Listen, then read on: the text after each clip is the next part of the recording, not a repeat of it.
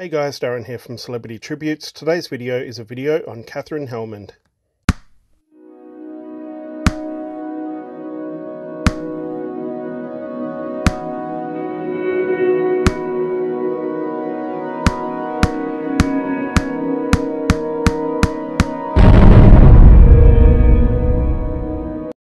Katherine Helmond was born on July 5, 1929 in Galveston, Texas, to Joseph and Thelma Helmond.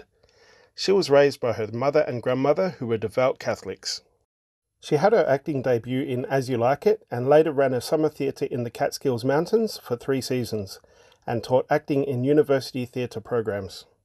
She made her television debut in 1962 in Car 54 Where Are You, also doing work in Broadway in The Great God Brown, Private Lives, and Don Juan.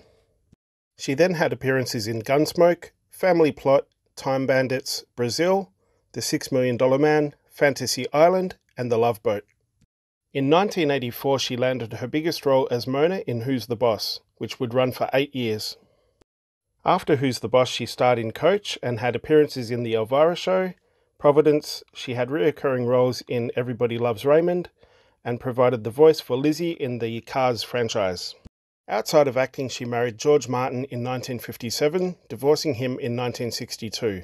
Then later that year married David Christian and was married to him until her death. She had no children. On February 23, 2019, after a battle with Alzheimer's disease, she passed away at her home at the age of 89. That's all for the video for today. Thank you very much for watching. If you did like the video, please like, subscribe and comment down below. See you next time.